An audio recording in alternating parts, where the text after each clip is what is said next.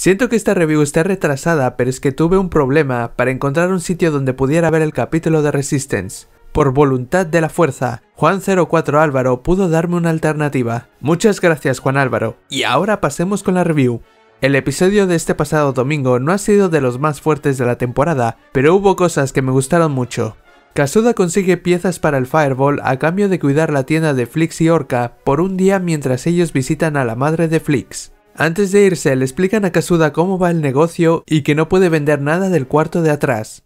Pronto llega Teroshki para comprar un conectador de fase, pero Kasuda no puede venderlo por estar en el cuarto prohibido. Sin estar satisfecho, le pide un montón de piezas para que las lleve al muelle 23. Y como no, resulta ser una trampa para deshacerse de Cass y robar el conectador de fase. BB-8 intenta parar a Terosh, pero es atrapado entre las cajas. Kasuda consigue salir del contenedor para perseguir a Terosh hasta su carguero donde descubre que trabaja para la Primera Orden. No tiene más remedio que derribar el carguero entero con la ayuda de Baiti. Terosh y Kasuda consiguen escapar a tiempo con las cápsulas de escape y Terosh informa sobre su fracaso al comandante Pike.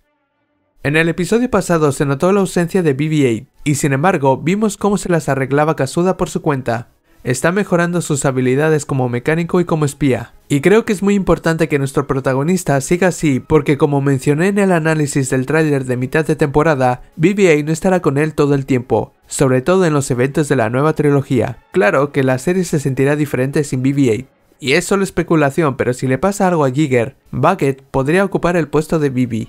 En cuanto a la cuestión del famoso conector de fase que quería la primera orden, podría ser para perforar más de y crear muchos más blasters para su ejército como se vio en el capítulo 11 o es para algo más. Se sabe que la base Starkiller está construida en un planeta, por lo que tuvieron que perforar y perforar. Por lo tanto, puede que lo quisieran para terminar la base. Y para acabar, ¿alguien cree que Bairi resistiría a los rayos del emperador?